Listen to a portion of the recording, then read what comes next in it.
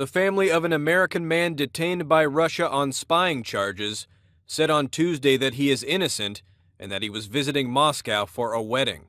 Paul Whelan, a retired U.S. Marine, was arrested last week during what Russia called an act of espionage and said on Monday that a criminal case had been opened against him.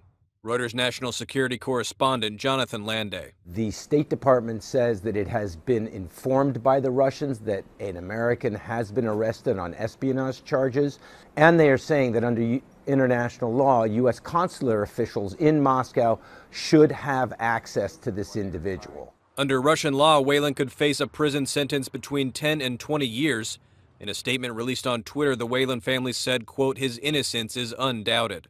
Whelan's brother David said he was staying with the wedding party for a fellow former Marine in Moscow.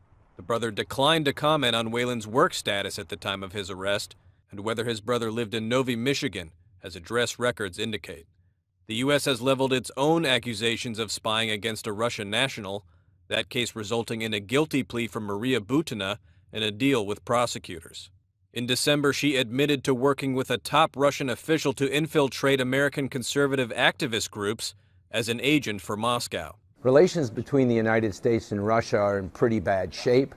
Uh, they have been deteriorating roughly since 2014 uh, over Russia's seizure of Crimea from Ukraine, and there is just a host of other issues now that are really poisoning relations, be they uh, disputes over nuclear arms control treaties, uh, the U.S. withdrawal from the Iran nuclear deal, and uh, making things even worse are the ongoing investigations uh, into Russian meddling or alleged Russian meddling in the 2016 uh, U.S. presidential elections. On Sunday, Russian President Vladimir Putin wrote U.S. President Donald Trump a letter for the new year saying he was ready for dialogue on a wide ranging agenda.